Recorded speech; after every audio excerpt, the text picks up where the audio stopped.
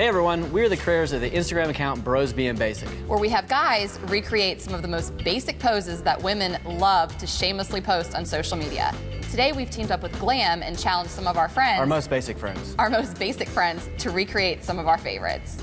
Outfit of the day, where a girl posts a picture of herself in her outfit, describes it in full detail like anyone actually cares. Hashtag lumbersexual. Hashtag where's my axe? Hashtag 50 shades of plaid. The candid cupcake photo. Like, did you really eat that? Probably not. Hashtag calories don't count on Valentine's Day. Hashtag don't you wish you were this finger? Hashtag come get you some. The unrelated sexy selfie. Is your face really gonna cure cancer? Probably not. Telling people to get out there and vote when it's really just a picture of your duck lips. Really? Really?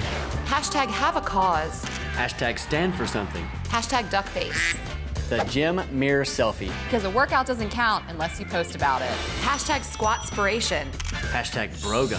Hashtag crossfat. Look at me while I pretend to refer to something else. Look at my puppy. But really look at my cleavage. Look at my new workout pants. No, really look at my ass. But this new book I'm reading. My cleavage. Hashtag best beard trimmer ever. Hashtag Gillette. Hashtag the best a man can get. I don't really hate this one though.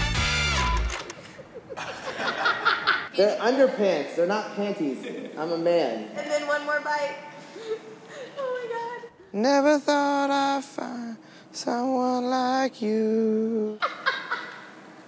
Okay, good, we got it.